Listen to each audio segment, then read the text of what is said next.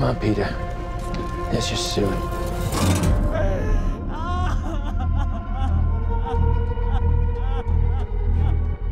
It's heartening to see so many strange new faces here today.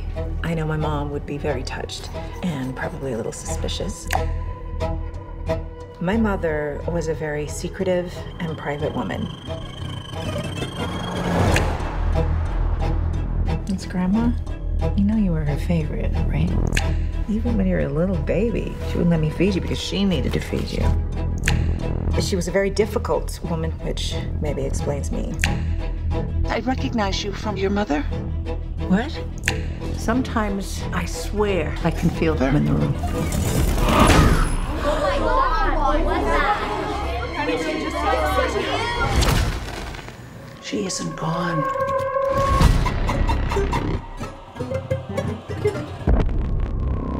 She had private rituals, private friends. Who's gonna take care of me? You don't think I'm gonna take care of you? But when you die, She wasn't altogether there.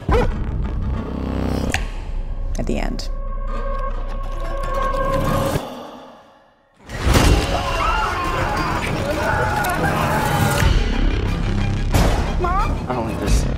Dad, I don't like.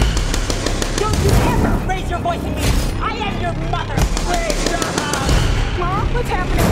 Make it stop! Make it stop!